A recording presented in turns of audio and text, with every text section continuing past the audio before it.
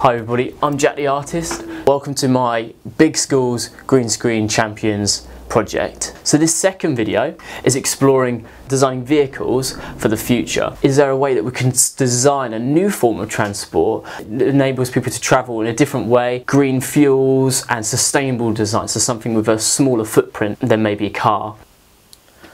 So this project is going to be all about designing a futuristic mode of transport and I've got a couple of books here for us to look at. Uh, this one is the game Fallout 4 post-apocalypse nuclear age. So the cars are kind of similar to those of the 1950s but then they they run on nuclear power. The way that they've been designed to look as well as their function so how something works. So not just the way it looks but how it works as well. And when it comes to your design I want you to think about how something is sustainable so we'll be looking at uh, designs of sustainable transport. So that could be that its materials are sustainable, so that when the vehicle or the mode of transport, its lifetime is up, it could be that the materials that are used to make it could be recycled. We're going to look at how it fits people's comfort and how people can use it easily and sufficiently. Post lockdown, people going back to work and transport themselves in the future, and the changes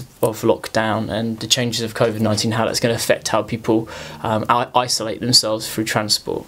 So these are all things we want to think about as well as like function aesthetics and we're going to be looking at kind of the sections of, of design so looking at like the plan view or the side views and the different kinds of views of looking at a, a design you could speak to people and ask people for their opinion on is something that's really important in the design elements of a vehicle. And then you can kind of design around that use that kind of knowledge of people of, of user experience. And then looking at different types of bicycle and the design and the aesthetics of the way things look as well as how they function. I've got some images here I've been looking at and I started by looking at these sort of motorbikes and vehicles that have two wheels at the front like this and then they have like a cover and then a one rear wheel here and you can kind of sit in them and control them from back here. I was thinking about rather than having two wheels at the front, just having a single wheel, but also looking at how big that wheel is. So maybe having a, a larger wheel at the front and a smaller wheel at the back, sort of connecting sort of a leaning back chair which people can sit in. So I've got my figure in here like this, you can sit sit in it and control it from handlebars over here. Introduction of using some kind of visor or guard to protect them from things like pollution and also just generally being on the road like not being kind of open to the elements. The uh, the pedals which are down here as they pedal they could charge a battery so the actual bike itself is an electric bike. The person who's riding this bike could change position and change kind of how they use it completely. If you want a leisurely leisurely ride you can kind of lie back on it but if you wanted to you could turn around and you can sort of lie forwards on it and control it from handlebars at the back of the bike. And instead of using the pedals they become accelerators. And then the whole bike sort of transforms into this more kind of like a racing bike. You could use um, actual images, so if you wanted to, you could have a go at collaging pictures and start by doing some collage.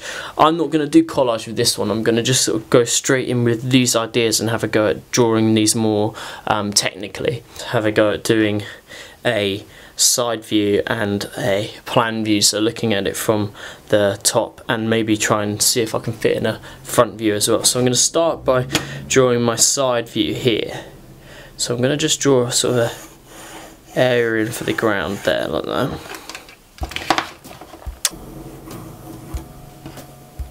So that's going to be my first wheel.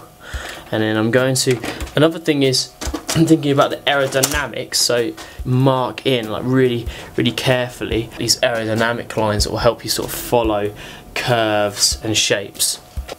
And then my smaller wheel down here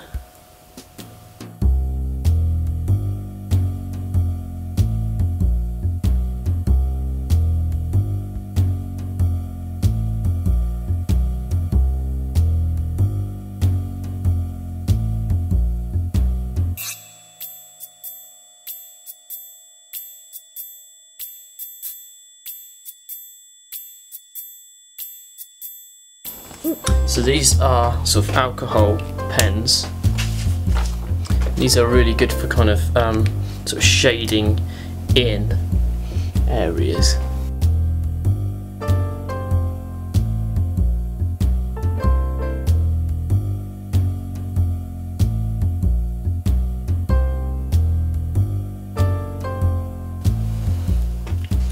And then if I work over areas as well, they should it should sort of go darker where I where I draw over.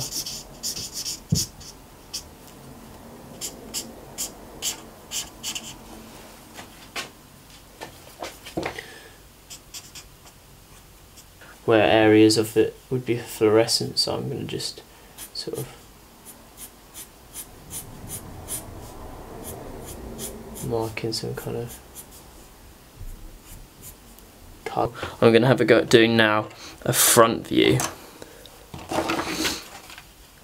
So this time I'm going to draw another line for the for the bottom area here.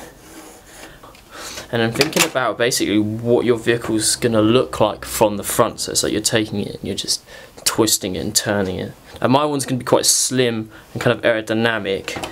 Um, and again, it's going to obviously start with the wheels.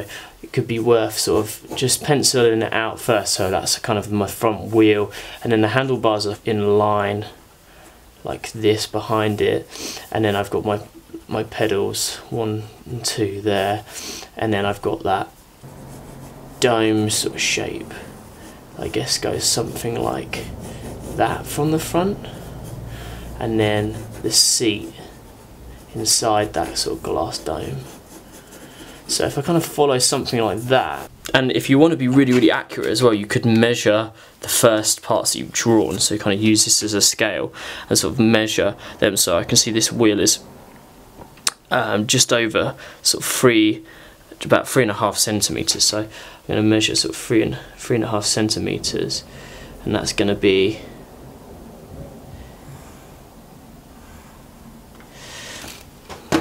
my wheel, sort of me looking at my wheel from the front. So with my handlebars sort of coming out from down here. I'm going to try and keep it nice and sort of symmetrical if I can. It might be a good idea when you're drawing this to also do some lines just to help guide keep things nice and central. So it looks like kind of the right sort of shape there and then got my sort of bubble shape. I'm just going to use this curve with a bit of grey. So it kind of does look a bit strange because you know you're looking at the vehicle straight on but it's just it's a real like challenge to try and work out you know what would what would your vehicle look like straight on? Try and visualize something that doesn't even exist. So it's good to use other things that already do exist to kind of help you come up with sort of ideas of what you think it would look like. Just highlighting the glass area like that just to make it look like it's just catching the light front view of my vehicle. I'm just going to do a shadow on the floor down here. To do a try and do a sort of a plan view, so looking down from the top. Now, again, this can be as mathematically precise and engineering precise as you want. So it could be that you measure your model. I'm gonna I'm gonna try and do it quite precise. So from the edge of the this wheel to the edge of this wheel, it's 11 centimeters. So I'm gonna do it the same the same size. Right, so this time it's like we're looking down above it.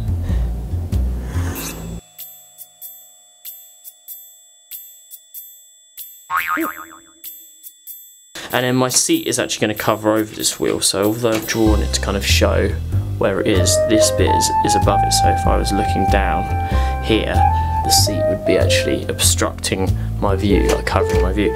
So I'm now going to draw a kind of seat and where the wheel connects to the rest of the body of the bike.